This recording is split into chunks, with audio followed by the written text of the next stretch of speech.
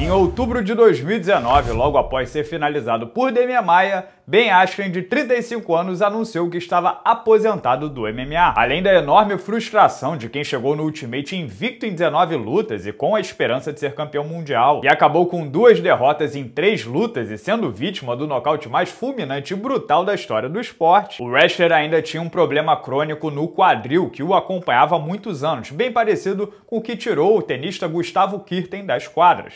Fisicamente limitado, ele optou por fazer uma cirurgia considerada delicada cuja recuperação é longa e também encerra carreiras. Askren então se adiantou e uniu o útil ao agradável, pedindo logo as contas. Aí você me pergunta como esse cidadão que há apenas quatro meses precisava de um andador para sequer ficar em pé abandonou a aposentadoria e vai lutar agora, no dia 17 de abril. E detalhe, com a chancela do UFC, que o liberou do contrato vigente para fazer a sua estreia no boxe. Para quem tá completamente por fora, a história deve soar muito bizarra, mas ela é bizarra mesmo. Fiquem aqui comigo que eu vou explicar tudo. Em setembro de 2017, dois youtubers bem famosos na Inglaterra, um chamado KSI e o outro Joe Weller, decidiram resolver uma rixa que tinham numa luta de boxe. O negócio ganhou tração de uma forma que o vencedor dessa luta, o próprio KSI, foi desafiado por um dos maiores youtubers dos Estados Unidos, o Logan Paul. E para compor o card desse evento que foi sensação na internet na época, o irmão mais novo do KSI, o Dead, e o irmão mais novo do Logan Paul, o Jake Paul, entraram na onda e se enfrentaram numa luta amadora. E desses todos, o Jake Paul, que hoje tem mais de 20 milhões de inscritos no YouTube, foi o que mais gostou da experiência e decidiu treinar boxe em tempo integral. De lá para cá, ele fez duas lutas profissionais. A primeira contra outro outro youtuber sem qualquer experiência e a segunda mais famosa, contra o ex-jogador de basquete né, da NBA Nate Robinson, que também nunca tinha lutado, mas pela popularidade de ambos, eles acabaram sendo co-main event de Mike Tyson versus Roy Jones Jr. Como o duelo entre os cinquentões foi bem morno para o gosto do público médio e o Jake entregou um nocaute brutal, ele acabou roubando toda a atenção naquela noite. Mas claro, o mundo do boxe o despreza e os haters apontam que o Nate Robinson mal sabia socar. Mordido, Jake Paul garantiu que a sua próxima apresentação seria contra um lutador profissional, para provar que é de verdade. A escadinha na cabeça dele era youtuber, atleta profissional e depois lutador profissional, é onde ele está chegando agora. Bom, obviamente, ele que tem aí por volta de dois anos de treino não tem qualquer condição de enfrentar um pugilista profissional. Então, qual foi a solução? Ora, ir buscar no MMA. Mas foram buscar especialistas na trocação?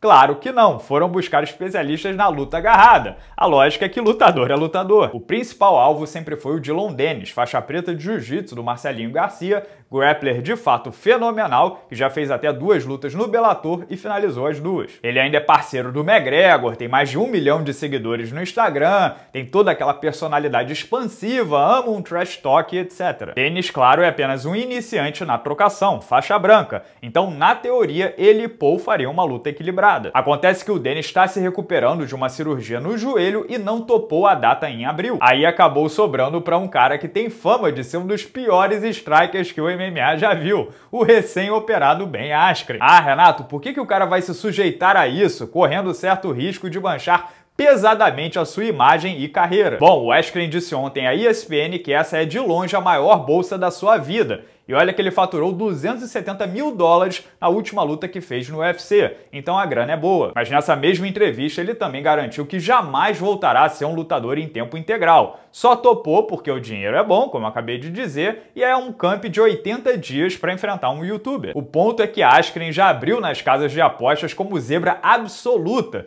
Isso para mim, confesso, sou um pouco estranho. O menino é maior, 12 anos mais jovem e parece levar jeito pra coisa. Sim, é verdade. Askren sempre foi um wrestler pragmático, nunca priorizou a trocação, nunca deu knockdown em ninguém e parece ter zero aptidão pra coisa? Sim, é verdade também. Mas espera aí, nessa hora que a gente pisa no freio. De um lado, a gente tem um garoto que começou a competir há dois anos. Do outro, temos um atleta olímpico, wrestler quatro vezes All-American, bicampeão da primeira divisão da NCAA 19-2 no MMA, tendo sido campeão do ONE FC e do Bellator batendo Douglas Lima. Askren pode não levar muito jeito, mas ele foi lutador de MMA por uma década. E durante esse tempo todo ele teve como head coach um ex-campeão mundial de kickboxing, o Duke Rufus, né? O mentor do Anthony Pettis, treinou com Anthony Pettis, com Tyron Woodley e companhia. Ou seja, também não estamos falando de um zero à esquerda, alguém que não tem a mínima noção do que fazer, como não tinha o ex-jogador de basquete Nate Robinson. Então sim, Ben Askren está de volta aos esportes de combate e acho que dessa vez ele tem uma chance muito maior do que estão pintando por aí. E como sempre, pessoal, esses são apenas os meus dois centavos,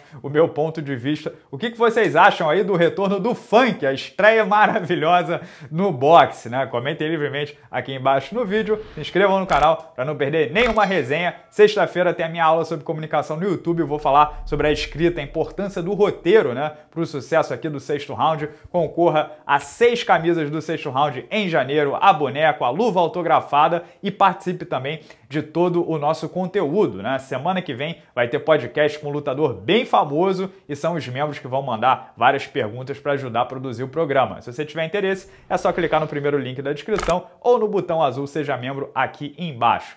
Fechado? Ontem rolou resenha sobre Paulo Borrachinha, que vai enfrentar o segundo melhor peso médio do mundo, e ele pediu por isso. Para entender tudo, é só clicar no link aqui do lado também. Beleza? Grande abraço a todos, muito obrigado pela audiência de sempre e até a próxima.